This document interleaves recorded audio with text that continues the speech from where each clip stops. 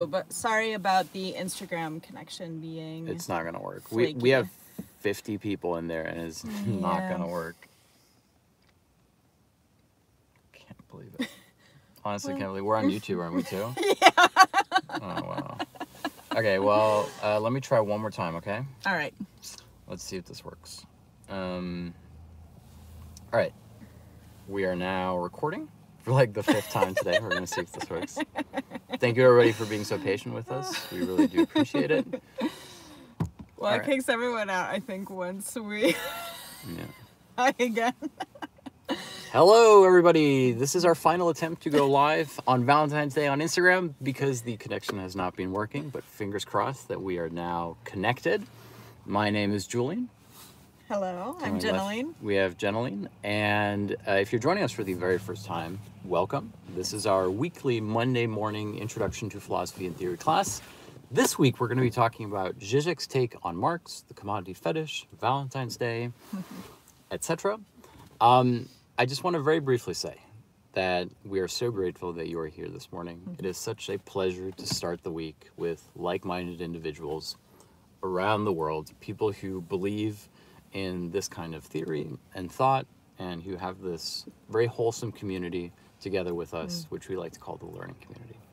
So I just want to tell you from the bottom of my heart how important it is to me that you are here, that you are sharing the space with us, and that every single week when life gets hard, I think to myself, the Monday morning class is really what makes it worthwhile. That I get such tremendous, such tremendous inspiration from getting to spend this hour um, with you. I really, really do, and I find I find the world to be an unlovable place, but I enjoy this hour that we share together. So I want to say thank you for that, and thank you for your time. And I think we should simply um, appreciate each other this Yes. morning. This is how we like to start our week. Sometimes we think, why did we decide first thing on a Monday morning? but we're always grateful. And I and I know and I respect the fact that all of you come into these classes from different countries, different backgrounds. Some of you have had a good week, some of you have had a bad week, some of you are going through your own struggles, your own trials and tribulations. And I hope that you find an hour of solace here with us in which you can enjoy uh, breathing what Hannah Arendt once called the fresh air of philosophical thought. that is our that is our goal here today. Um, so I think um, I just want to very briefly say that uh, we have an ebook. Jenaline edited it. I wrote it, and that um, if you'd like to get the full, I don't know, if you'd like to get everything out of our classes, then consider reading the ebook. The ebook will Yes. give you a lot of the background knowledge for the terms that we use in these classes. Um, also, shout out to Matthias in the comment section. Very nice to see you, uh, fellow content creator. So I think we should just start. However, Jenaline has a little PSA regarding comments. I do. Oh, let us know where you're joining us from. this is all deja vu. Yeah, Yes. we love imagining the sunny or wintry places, as the case may be, where you are tuning in from. It cheers us up. It cheers us up a lot. So please do leave us a comment letting us know where you're joining us from. That's really, really nice for us to know, and it makes us feel very connected with everybody around the world. Yeah, and in fact, we are going to be in a new location next week. We're going to be in Seattle. That's right. So we're looking forward to going to some bookstores. That'll be good. Love from India, love from Argentina, Buenos Aires. Greetings back to you. Um, we're sending love and big hugs from a chilly parking lot in Spokane, Washington. uh, Nepal, that's incredible. Pakistan, wonderful. Okay, let's simply dive in. Today is Valentine's Day. We can all sort of collectively roll our eyes and groan because uh, there's a German expression which is that uh, people enjoy things with their fists tucked into their pockets. And if there ever was a holiday that people enjoy with their fists tucked into their pockets, it is Valentine's Day. Because as much as we want to genuinely express our love and affection for our loved ones, we also know that love has become a valuable commodity, and that the idea of showing your love by means of um, exchanging goods instead of exchanging affection, or a means of exchanging affection, has become increasingly popular. So, we're going to talk a little bit about that today about the commodity fetish, about the idea of Valentine's Day. It's sort of funny because when I was a kid, I don't know if this is still true in the United States, but when I was a kid, I briefly went to school in America. And there was a tradition where for Valentine's Day, the, the teachers were very afraid that there would be inequality, at least inequality when it came to romance. but they couldn't have the children just have an orgy, obviously. and so what the what the teachers did was they said that every child had to bring a Valentine's Day card for every other child in Yes. the class. Is that oh still yes, is that a is practice? a thing. You cannot. I mean, you could give selective Valentines, but you had to give a Valentine to everyone in the class. Right. This is yes. It's it's very in- I think interesting. it's probably still the case. Yeah. There's another German expression. It's from Goethe, where he says, um, uh, "Besser Unrecht als Unordnung," Mm. which means better to have injustice than chaos. and I feel like that's the American approach to schools and Valentine's Day. It's like the injustice of not being able to express your affection properly, but at least there's like orderly affection. Everybody expresses equal amounts of affection. Well, there was a joke that like if if someone writes you a love sonnet, then they really love you, but if they write you 300 love sonnets, then they just really love sonnets. And I feel like that's that way about Valentines. If someone gives if someone gives out a Valentine, they really love you. But if they give out, you know, 30 Valentines to everyone in the class, then they just really They love love, Valentines. This is a very good observation because I think what happens, and I, and I don't mean to judge here, is that it's there's Freud already knew this, and everybody who knows Freud knows this that the idea of child sexuality is very terrifying to people, and the only way to neuter the possibility of child sexuality, in other words, the idea that children would have mm-hmm. courtly love for their neighborly child, is to simply universalize it. To say instead of having a particular expression of love between mm-hmm. two people, two children, we're going to have a universal expression of love, mm-hmm. which means that instead of loving another child, you are now loving love itself. And so it becomes an affirmation of love and gift giving for everybody. Now, I also went to school in the Netherlands, in Holland, in Utrecht.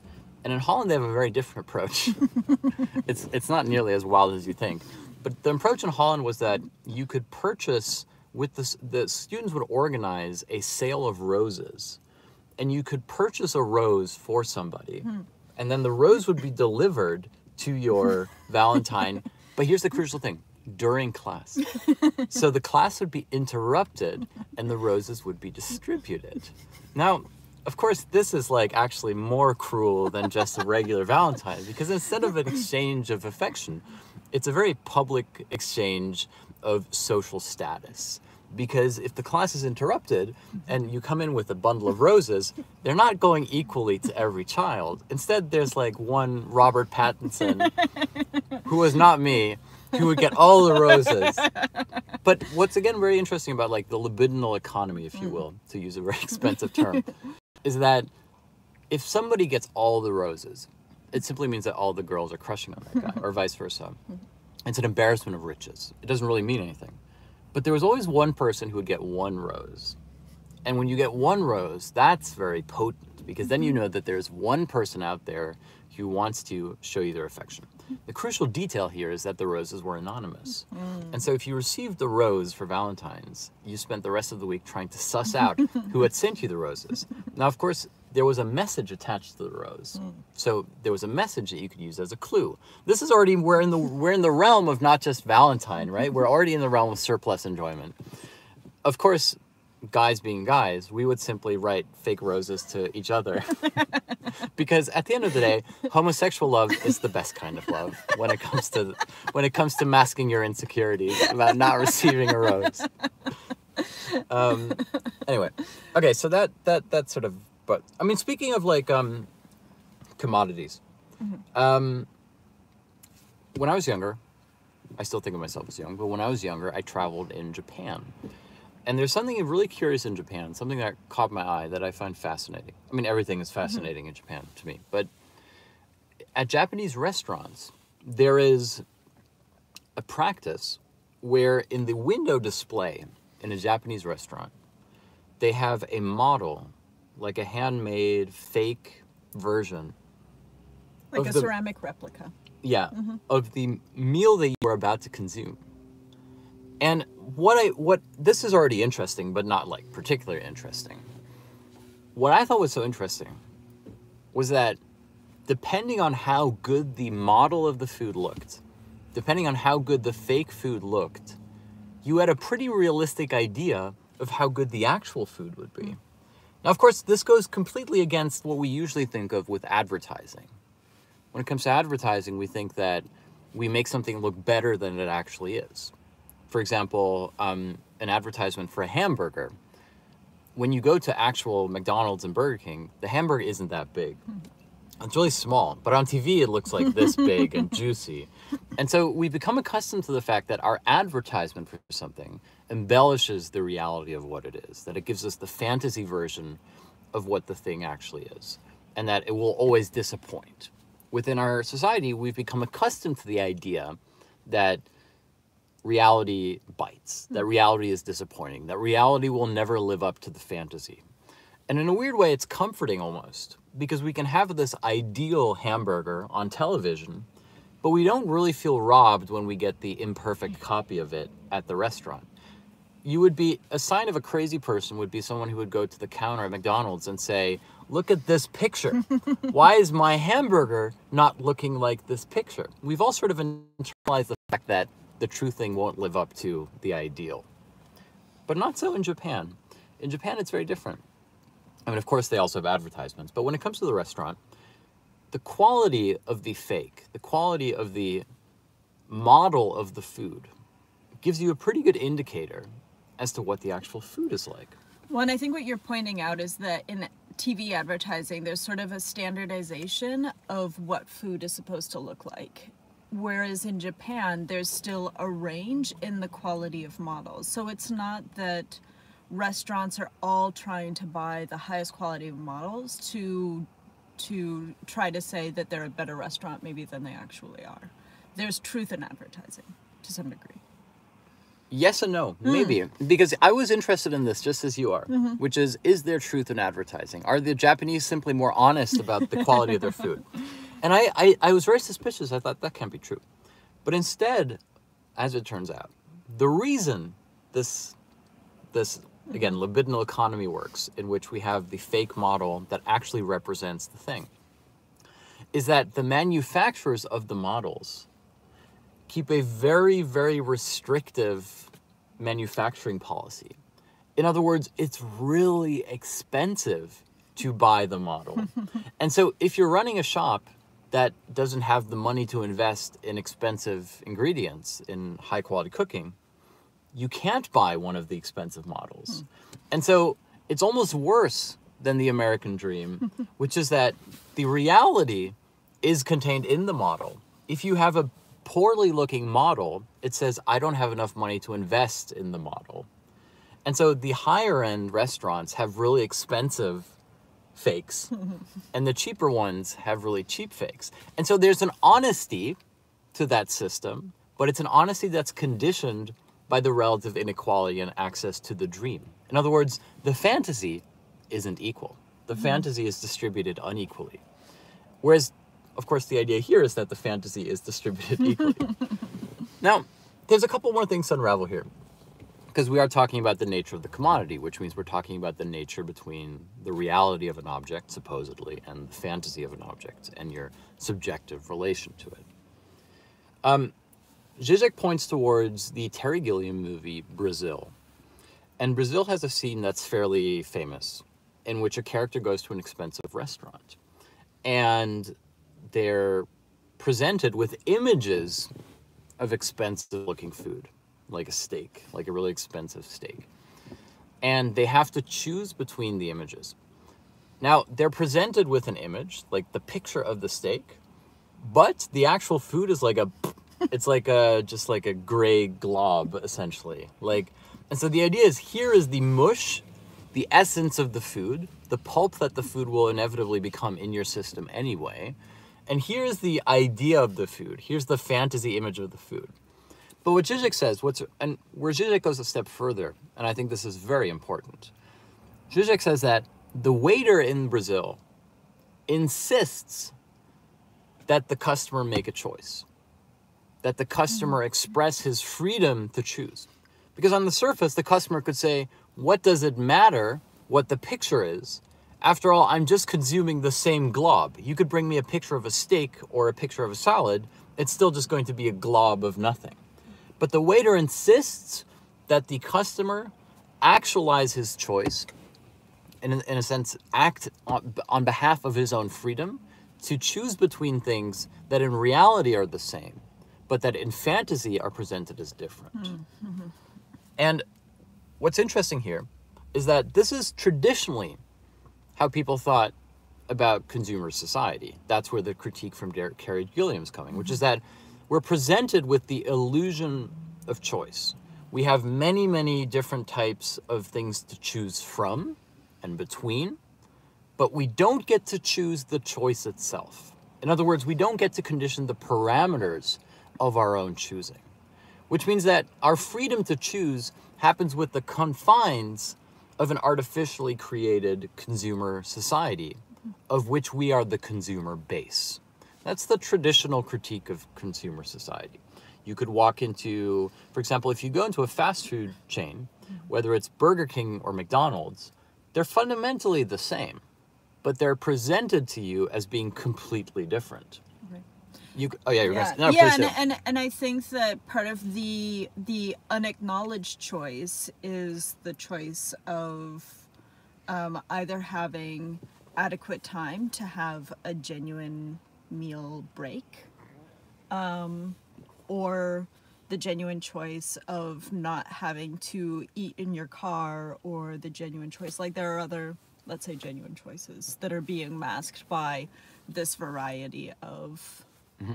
fast food restaurants. Exactly. We have not a democracy of opportunity, but a democracy of access. The idea being that if everybody can buy it, then it must be equal. now, what there's other examples of this. For example, if you go back to the advertisements for the difference between Apple computers and uh, Microsoft computers, or what IBM's PC. PC. Thank you. PC, Apple and PC. the way in which those advertisements were presented, going all the way back to the 80s and 90s, was to say that if you bought a PC, you were a certain type of person. And if you bought an Apple, you were a different type of person. To buy a PC made you a square. You worked in an office. You had no imagination. You were simply an extension of the computer mind. On the other hand, if you bought an Apple computer, you were a creative, someone who was autonomous, their own man, who was using their computer to innovate in the same manner of, I don't know, Einstein. They always Einstein. had like all of these sort of iconic photographs to reinforce that. Yeah. There was a pretty good advertisement during the Super Bowl yesterday in which they were making fun of the original Apple ad where it says like dream to be great or something and instead of, and it was very pretentious like black and white slow motion and instead like uh, I don't know what the slogan was for Apple something like the innovators or the greats and here it was like we praise the lazy and I had like all these people who identified as being lazy Anyway, the point being here is that the way in which Apple marketed itself very successfully, I may say, was to suggest that whether you bought a PC computer or an Apple computer made you a very different type of person. Mm-hmm. In other words, that your consumer choice was an expression of lifestyle. In fact, an expression of your essence. That depending on if you choose one computer versus another computer, you were either a creative genius or a, I don't know, a conformist stooge. And what's funny is that this actually played into PC's hands as well. Because now you have two different consumer bases. PC gets sold to every office worker around the world, which is a much bigger market share. Mm-hmm. And Apple gets sold to everybody who thinks that they're not an office worker and yet have to do office work.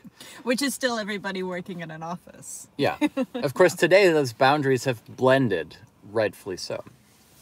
And what's important here is that, to go back to the image from Brazil, is you're presented with different pictures, different fantasies, but underneath the surface, it's essentially the same thing. And the way in which you are able to get away with that, that abstraction, is by suggesting that the difference isn't between the objects, the difference lies within you. That you are expressing your own identity, that your own essence is expressed through your consumer choice, in other words, through the way in which you adopt a lifestyle. Mm-hmm. And this is also why the waiter in Terry Gilliam's Brazil insists that the customer make a choice. You have to exert your freedom, and how do you make yourself manifestly free? Mm-hmm. It's by adopting the correct lifestyle. And one of the things that we've seen happen within our politics today is essentially, you could say, the lifestyle of politics So we don't just make a choice based on the policies that we approve of. We don't just make a choice based on the politicians we approve of. We choose our politics almost as a form of lifestyle. Our politics become sort of woven into a general fabric of other lifestyle activities, whether it's dietary preferences, whether it's the movies we like, the celebrities we approve of or disapprove of. We catalog our entire life into a sense into a lifestyle, which means the ability to make the appropriate consumer choices. And so our approach towards politics becomes a similar manifestation. We choose the politician not who we think is most equipped to be a politician, but the one who most readily fits within our preconceived catalog of what we think of as our identity. Mm-hmm. And this is sort of still very much the traditional critique of consumer society.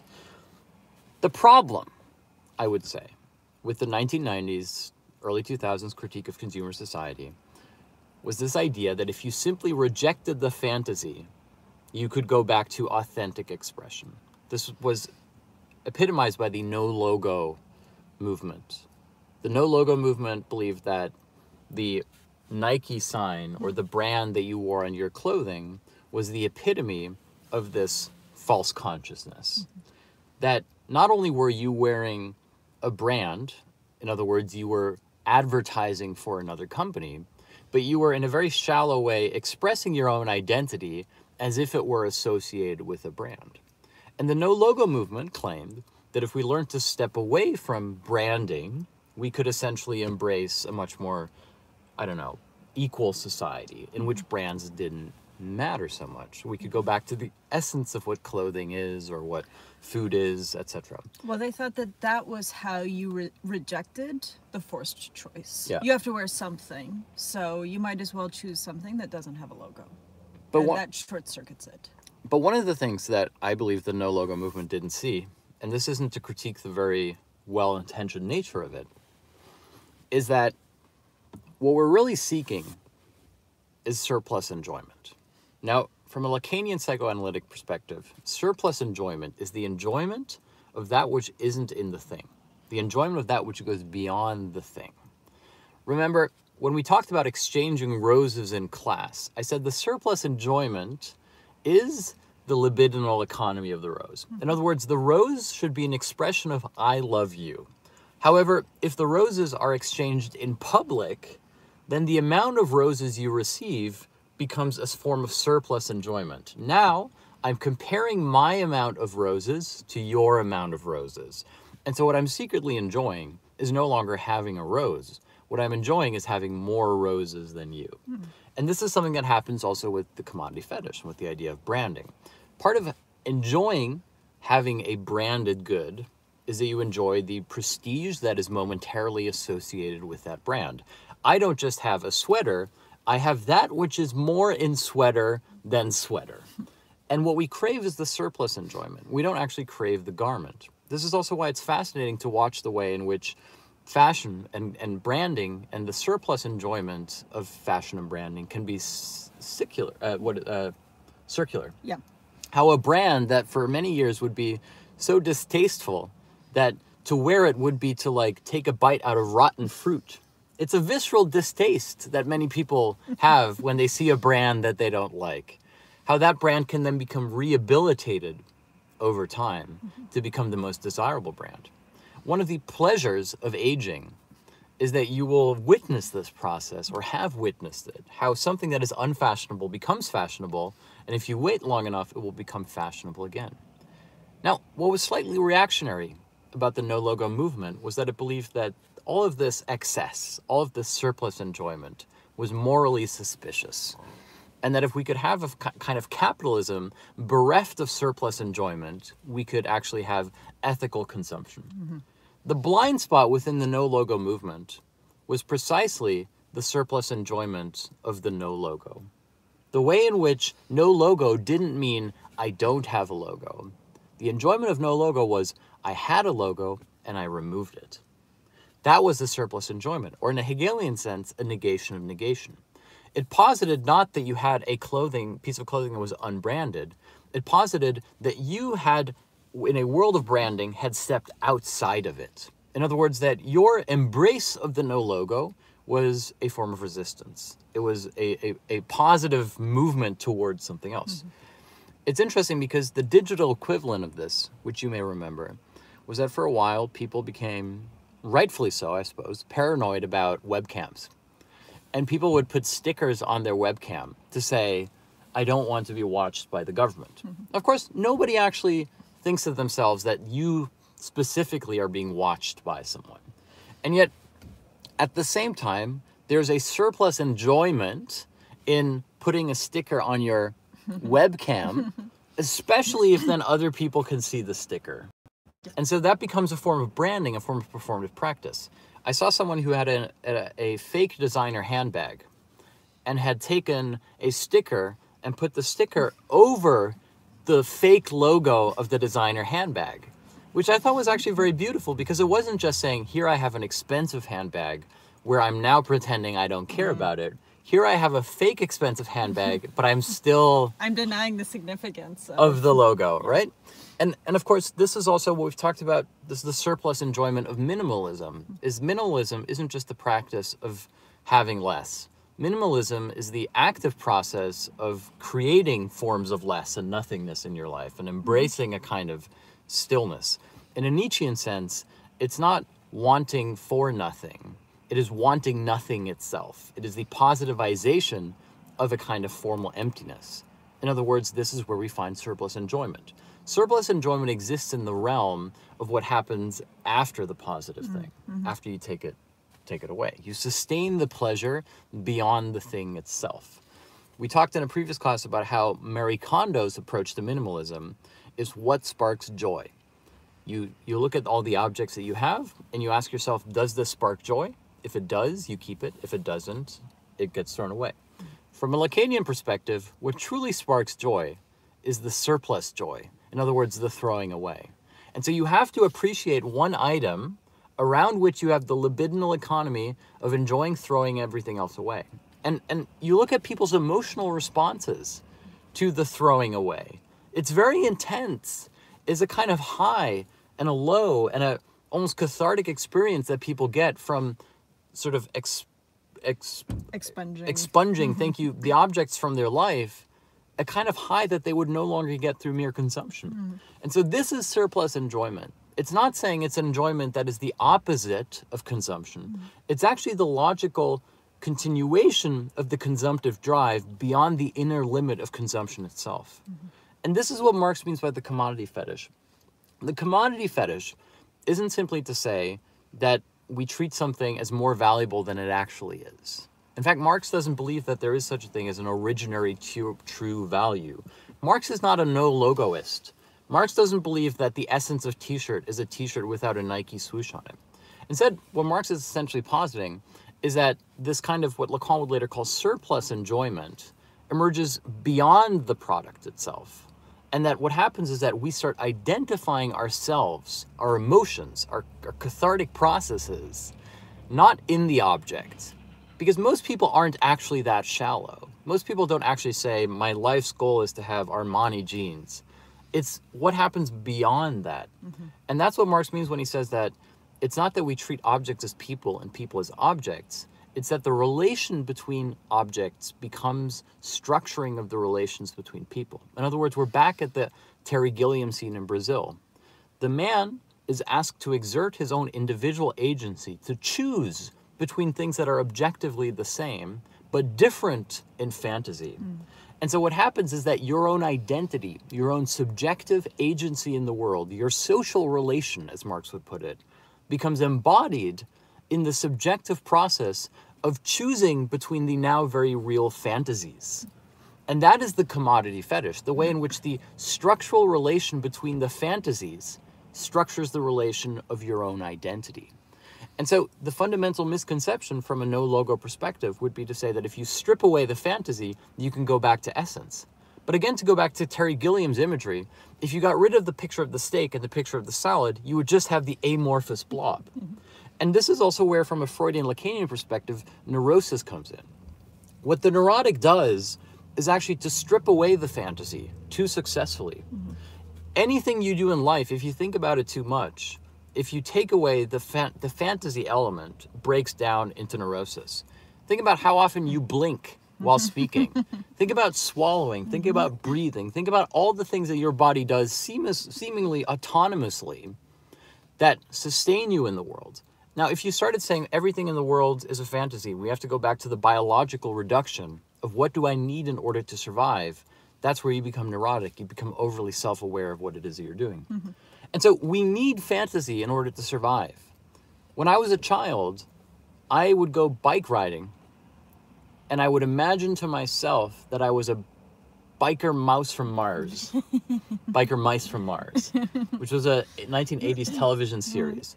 And I would be on my bicycle and I would be experiencing the world and enjoying it thus the more mm-hmm. because I was a biker mouse.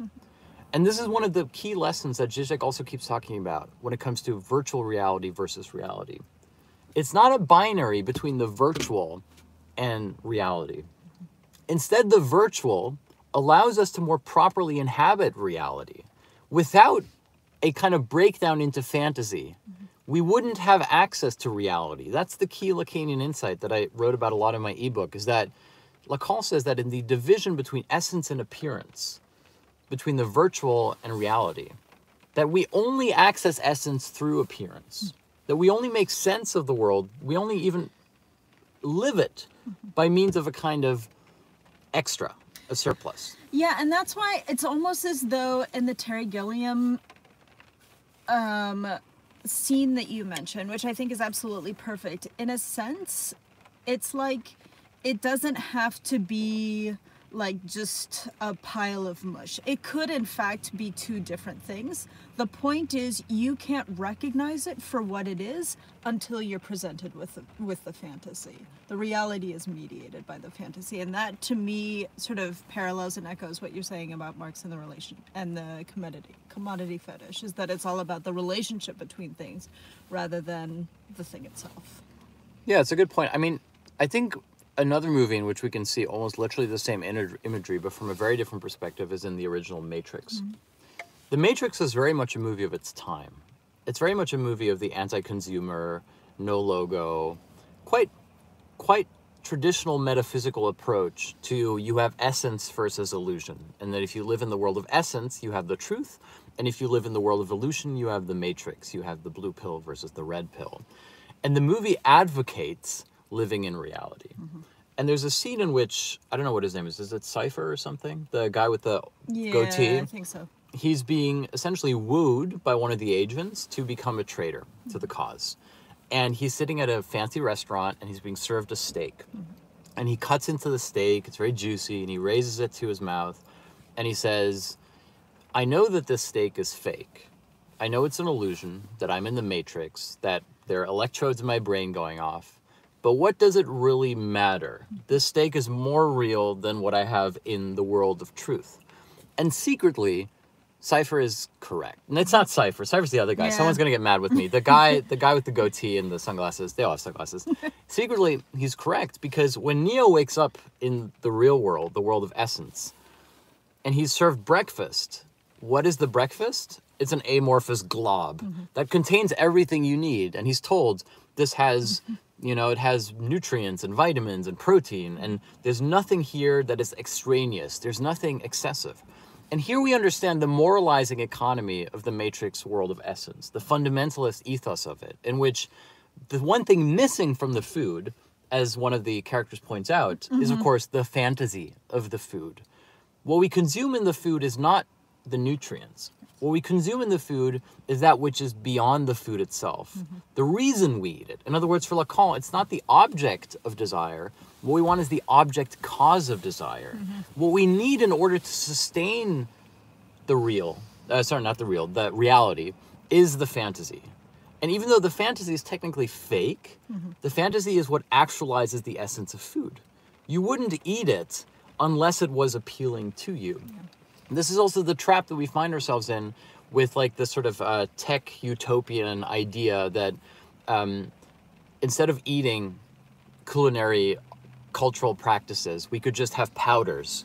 You know, we could just have like a nutrient shake that we take in three times a day. And of course, the answer is yes, technically, you could probably do that.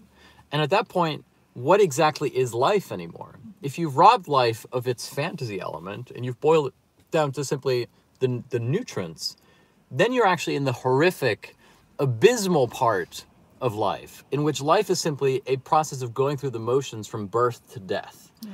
And this goes back to the idea that Kierkegaard had. Kier- it's funny because this is an idea that Kierkegaard had that has been turned into like self-help slogans.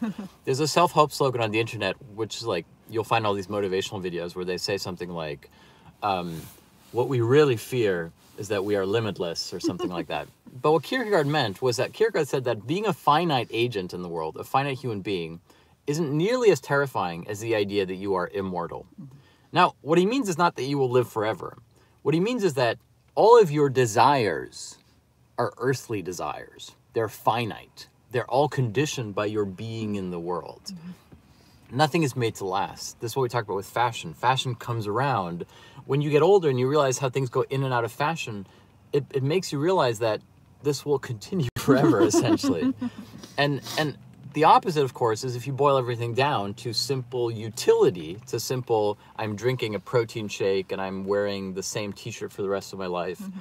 That's when you get into the realm of the infinite, the realm of the immortal, in which you're in a much more dangerous, more abysmal, nihilistic, even absurdist mm-hmm. position. Mm-hmm. And that's kind of what Kierkegaard realizes is that what, what is terrifying about life is not that it's finite, it's not that it's fleeting and passing we may think that's terrifying, but actually that's what gives us access to everything that might makes life worth living. What makes us terrified is the idea of eternal repetition. The idea that everything is simply the same. And so of course we introduce fantasy. Technically, every time you eat, even breakfast, lunch, and dinner, there's no real reason why breakfast, lunch, and dinner should be such different meals. We have an entire identity around breakfast, lunch, and dinner. There are foods that are breakfast foods and not breakfast foods. Somehow, mysteriously, a slice of pizza can be both a dinner food, a breakfast food, and a lunch food. It's like it surpassed the boundaries of how we mm-hmm. eat. And yet, that entire process isn't simply lifestyle. It's not simply a false choice. It is the very condition of freedom itself. The fact that you are filling in what is otherwise the empty space of human repetition.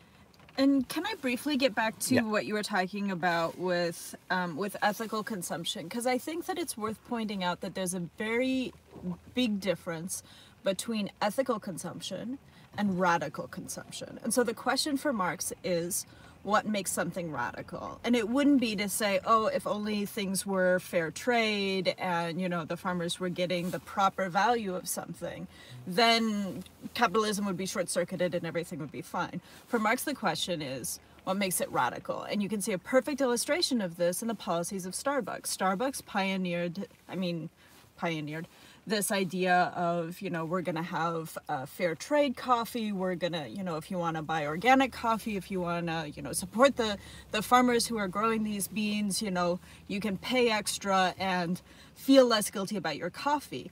The radical move isn't fair trade coffee. Not that that isn't important. The radical move is for Starbucks employees to be unionized. And that's where Starbucks fights back. And that's where you can see the difference between ethical consumption and radical consumption or radical mm-hmm. relationship. It's true. And what I want to add to that, though, which is that if we're talking about lifestyle, being pro union mm. has also become a little bit of a lifestyle, which is that yeah. there's many people that uh, we'll talk to. Mm who have quite up to date opinions on is Amazon are mm-hmm. Amazon workers in Chicago mm-hmm. or something mm-hmm. unionizing or here, and it's sort of like we support it, and of course one should support unionizing efforts. I very much believe this. I've been part of union efforts at the universities that I've worked at, um, and trust me, it is not fun to fight on the losing side over and over again. Um, I do very much believe that, but of course the way in which we now consume union narratives mm-hmm. through left wing or liberal media, progressive media, progressive mm-hmm. media has become itself kind of like part mm-hmm. of that whole lifestyle. Mm-hmm. But I don't mm-hmm. want to like. Yeah, yeah, yeah, But I wanted to distinguish between like ethical consumption and like yeah. what is genuinely radical. And that's what you're saying They're super important, right? Because the idea, and this is actually where Zizek is going to come back in, because ethical consumption today gives us a key as to what has happened within the consumer economy which is that the critique of the no logo movement was why does everybody want more? Hmm. Why does everybody want more brands? Why are we just walking around with empty value? Of course, for Marx, all value is empty. There's no a priori Urgrund of value. When it comes to ethical consumption, we've found a shift, which is again the internal limit of capitalism, in a sense, gorging upon its own emptiness, which is that now we buy things not for what they are, we buy things for what they are not. Mm-hmm. In other words, when you're having ethical consumer choices like fair trade, you're buying them because they're not supposed to be exploitative. They're supposed to be exempt from capitalism within the capitalist consumer economy. Mm-hmm. The same is true when you buy something that has no sugar. You say, well, sugar is bad, so now I'm going to buy a candy bar without sugar. Mm-hmm. And Zizek simply takes that idea of where you don't want the essence of the thing, but you want that which it has been supposedly deprived of, and he extends that to our society at large. He says that increasingly that's how we think of as love. We want love without consequences. We want love without danger. We want love that can be fleeting, in which you can just meet somebody else every night. Mm-hmm. We want to have sexual encounters that increasingly don't even require our own participation. In other words, how pornography becomes mm-hmm. increasingly dominant. Zizek says that for him, the ultimate romantic encounter would be one in which he and a woman go on a date. They go home and they both get out a sex toy, two vibrators. They plug in the vibrators into the socket. They leave the vibrators in the room and they go out and read books together. He says like this is the ultimate romantic Valentine's for him is that someone else or something else does the screwing so he can go and have the romantic time. Of course, this isn't to blame anybody or to say that anybody's doing something wrong or to have a moralizing mm. economy, but it's that in our very freedom to treat our life as a consumer practice, mm-hmm. to freely choose between as many partners as we want, we've lost something. We've lost a certain kind of essence of what it means to actually spend time with that person. Mm-hmm. And and this isn't to say oh we should go back to that because that's the ultimate fundamental reactionary mistake to think that there was an essence to begin with. Now, when it comes to this whole idea of wanting something that has been deprived of its essence, this is also how we can see how surplus enjoyment persists. It's like a zombie type of enjoyment. For example, if you are a vegan, part of the enjoyment of being vegan is that it provides you with a plethora of surplus enjoyment. On the level of what Lacan would call the big other, you can enjoy the fact that you're doing something good for the planet. In other words, you're opting out of destructive agricultural policies and practices.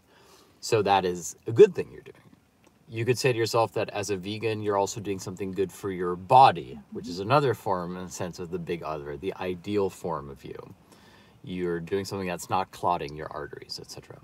As a vegan, you could also say that you make friends and you become part of a community of other vegans. Or you could even say that part of the surplus enjoyment of a vegan is that you get to antagonize people who are not sufficiently vegan. This is like a whole part of vegan culture as well, right? The the battles that rage between vegans are not unlike the battles between like I don't know, like Trotskyists, left like like it's like Right? the- we no the longer fight about religion, we just fight about diet. yeah exactly the the whole mm-hmm. and and what i'm trying to say here is i'm not trying to mock being a vegan. I think in many ways being a vegan is is a very good thing to do but it provides you with a couple of different surplus enjoyments.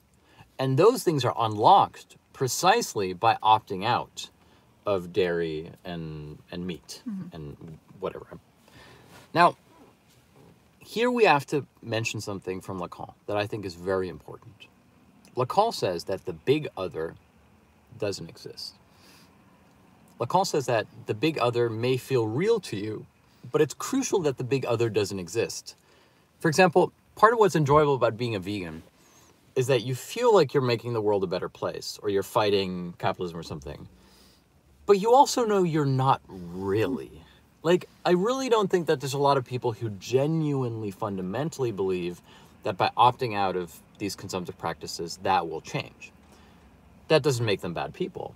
It's just that the big other doesn't really exist. It's not that someone says, I will only become a vegan if you can prove to me that after X amount of days of being a vegan, the world will change. No, we do it anyway. In the same way that the big other doesn't require proof as such. if you if you think about God, for example, and belief in God, um, Zizek has this uh, thing where he was in the United States and he saw a church, and they had as their slogan, "We don't believe in God. We know God." Hmm. And Zizek says that here we have the fundamental workings of ideology, which is that the unstated message is not we don't believe in God, we know God. It's we believe we know God. In other words, that that which cannot be objectively known, God, is posited as a rational empirical knowledge predicated on a disavowed belief. And if you go back to like veganism or any kind of other ideological uh, practice, and, and for those who are joining for the first time, I'm not saying that some things are ideological and something aren't. I'm saying that the very frame by which we enter and experience reality is ideological. You could say, it's not that I believe that veganism will save the world. I know veganism will save the world. In other words, I believe I know it will. And that that process is the process of all ideological participation. It's saying that what you're objectively positing as true can only be actualized through a certain kind of belief. And of course, there is a kernel of truth to this. If everybody collectively decided to believe that they know that the world will change, the world would change. And yet, what's happened within capitalism is that the belief that you know, the surplus enjoyment of your own opting out, has been cast out into a million different corners. Mm-hmm.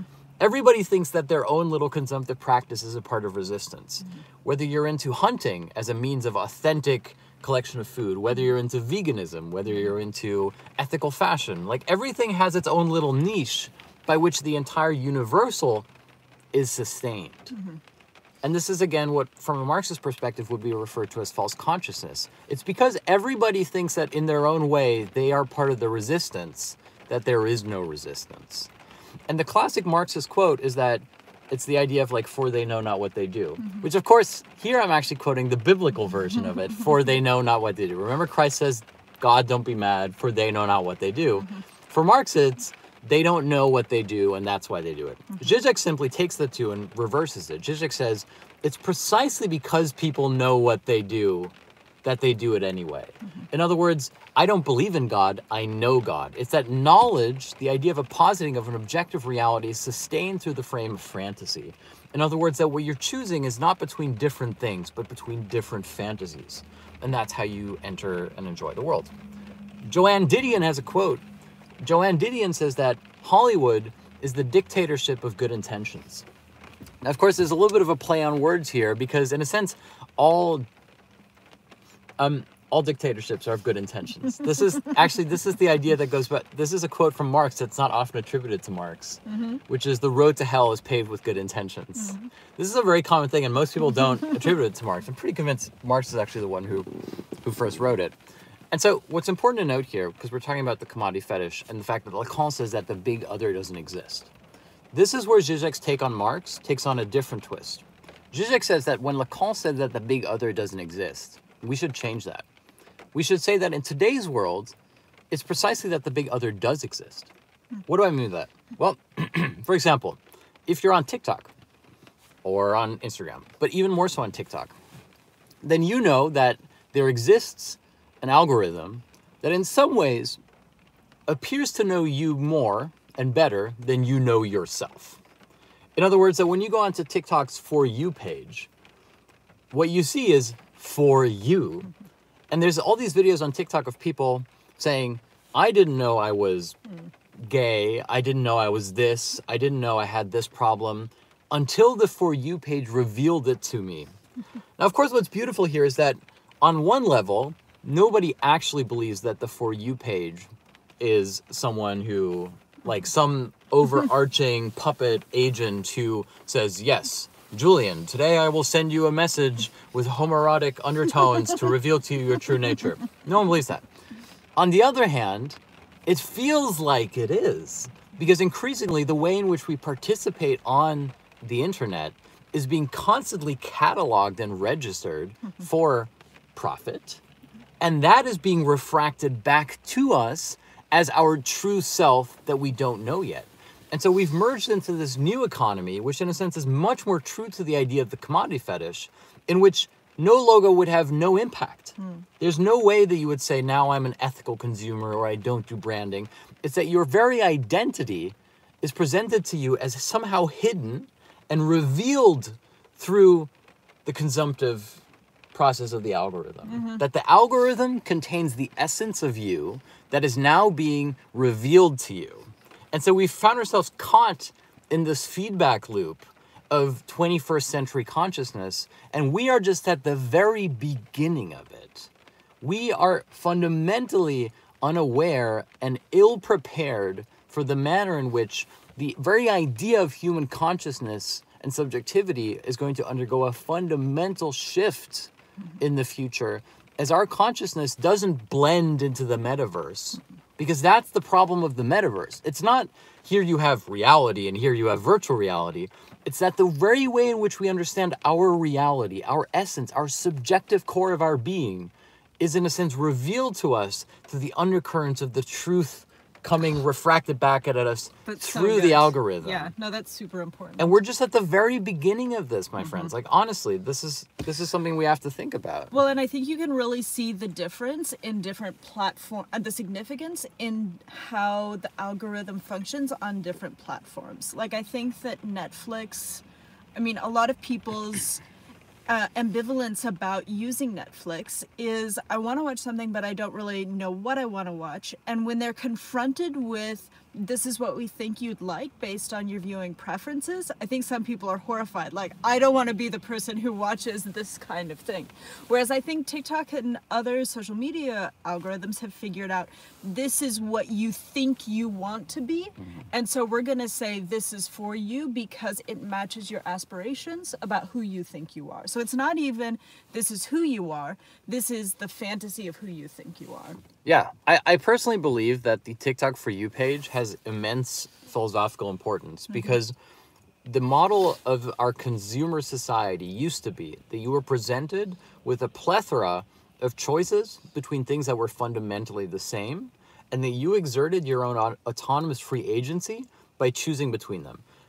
For example, I know that if I'm going to buy a computer, I will buy a Mac and not a PC. If I'm going to buy speakers or any any kind of like luxury product, it's very important to me that I buy the right camera or the right monitor. This is what traditionally would have been called bourgeois ideology. It's that you know everything you need to know to express your good taste by means of your consumer practices.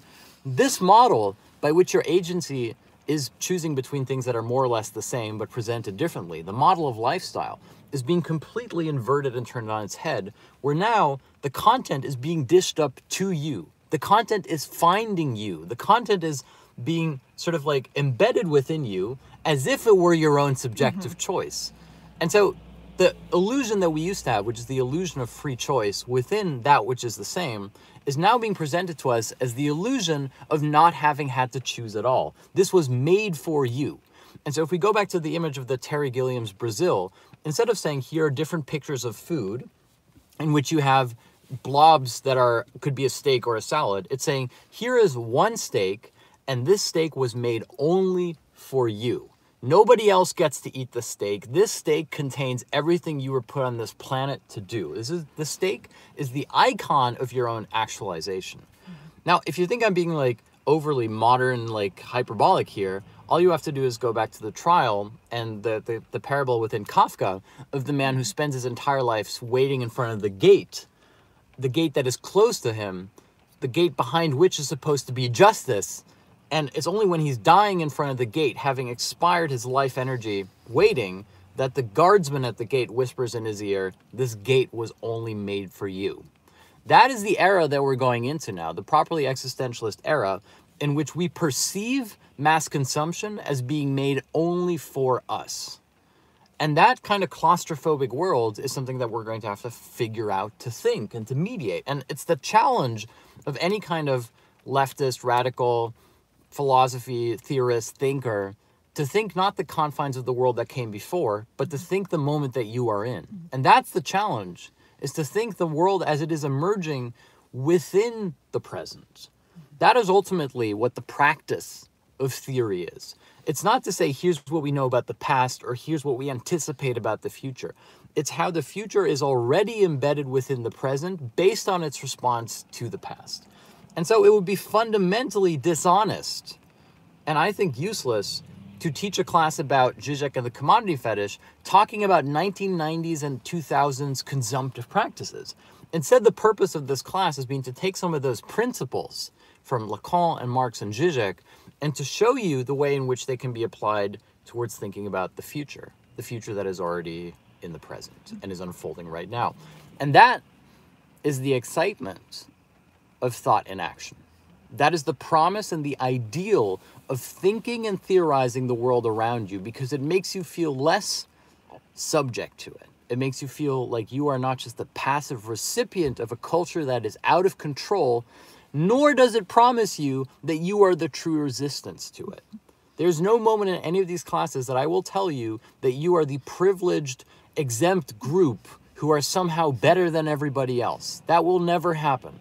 Instead, I think that the best way to live is to allow yourself to be attuned to the way the world is changing around you and to have the critical capacity and the intellectual conceptual framework to try to make sense of that which is exceeding our grasp. That is what I believe. On that note, happy Valentine's Day. Thank you so much for starting Yes. this week with us. Yes. It's been our pleasure. Yeah. Thank you to Jenaline for editing the transcripts. Absolutely. That is a monumental amount of work and a true expression of love. Thank you so much. um, we will be uh, hosting a live discussion where we will take your questions for another 30 minutes or so. It's going to start on Discord in five minutes. Mm. Very quickly.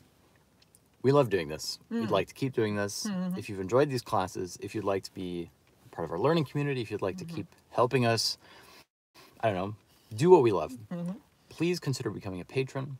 You can access our ebook that gives you summaries of the concepts, introductions, um, gives you access to our classes as downloads, gives you access to our Discord community. If you'd like to be, if you'd like to go all the way with our learning community, please consider becoming a patron today. It starts at just five dollars a month, and it really does help. It helps us with this project. So thank you so much.